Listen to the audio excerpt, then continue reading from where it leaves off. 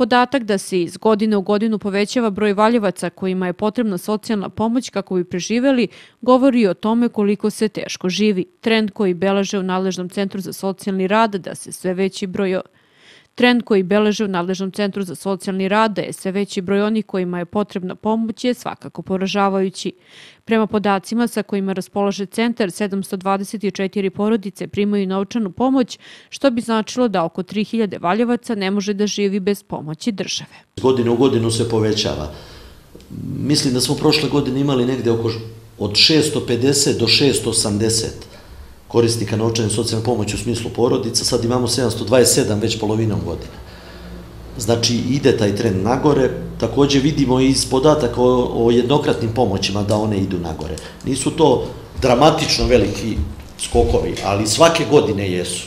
Znači, mi imamo zadnjih, recimo, pa evo ja 17, 18 godina radim u ovom centru, svake godine imamo blagi pomak nagore. Pa sad, Vidjet ćemo da li će se taj krug jednom zaustaviti, da li će početi opadanje broja korisnika. Mislim da je u ovom trenutku to neki maksimum, ali ne, ne znači da već za tri meseca nećemo imati ponovo povećanje. Svaki slučaj je poseban, kaže naš sagovornik. Svi oni dolaze sa posebnom životnom pričom i teškoćama koje ih muče. Imate pojedince, moram ih opet rašaniti od porodica, koji žive sami, koji nemaju zaposlenje, koji nemaju imovinu, koji su bolesni. Opet sa druge strane imate porodice, recimo sa maloletnom decom, gde bračni drugovi ne rade. Deca idu u školu, nemaju nikakve prihode, e, nezaposleni su, nemaju imovinu ili imaju neku vrlo malu imovinu. Povremeno se radno angažuju na nekim sezonskim poslovima, ali od toga ne mogu da prežive. Opet imate i staračka domaćinstva na selima pogotovo, bez obzira što posjeduju imovinu, oni nisu mogućnosti da rade, pa se često opredeljuju i za hipoteku na tom imovinom. Tako da ovaj, ima različitih e, kategorija i slojeva, ali generalno se radi o ljudima koji zaista teško žive, koji nemaju elementar novac za zadovoljanje osnovnih životnih potreba, e, niti sebe, niti svoje dece. Tako da različite životne priče dolaze ovde, ovaj, ali uglavnom je to težak socioekonomski ili zdravstveni status. Teške su situacije gde su članovi porodice radno sposobni, ali ne mogu da dođu do posla. Oni imaju decu i svaka pomoć im znači. Imate e, naše sugrađane koji se nalaze na zavodu za zapošljavanje, recimo od, poče, od kraja svog školovanja. Nisu mogućnosti da nađu posao, ne mogu reći. Možda ima i situacija gde je neko nije preterano angažovan da nađe posao, ali obzirom da znamo da je jako teško doći do posla, pretpostavljam da mnogi ne mogu da dođu do posla. Pa se ljudi angažuju, dovijaju, kao i svako od nas.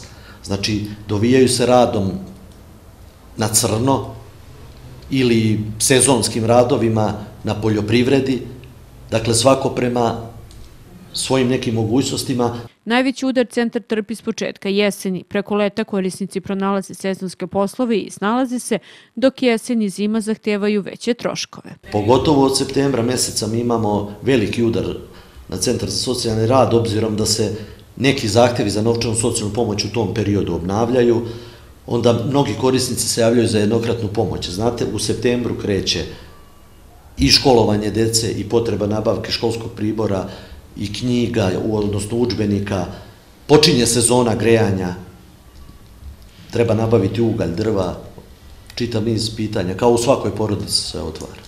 Nisu ni redki slučajevi da valjevci pokušaju da zloupotrebe situaciju. Mi sprovodimo zakon vrlo jasno, on je vrlo jasan u nekim delovima. Ja sam potpuno svestan da iznosi novčane socijalne pomoći nisu preterano veliki, ali jednostavno budžet grada i budžet Republike odvaja onoliko koliko može. Obzirom da ni neka prosečna plata baš nije preterano velika.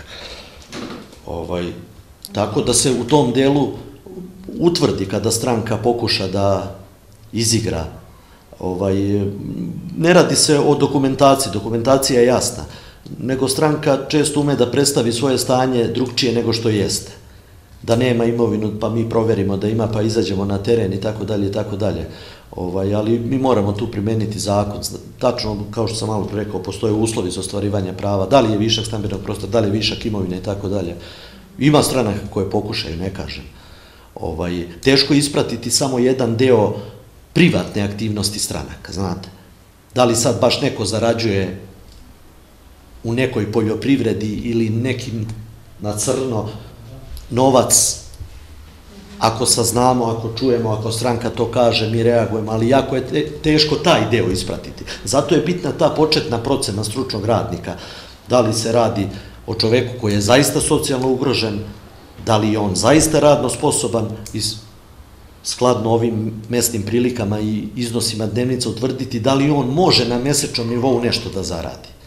Nosilac prava na pomoć dobija nešto više od 8.000 dinara, članovi porodice 4.000, a deca oko 2.500 dinara. Ovi iznosi su osnovni.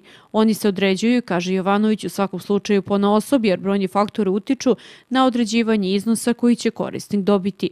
Osim ove pomoći, korisnici dobijaju jednokratne za novčanu socijalnu pomoć, sredstva opredeljuje Republika, a za jednokratnu grad.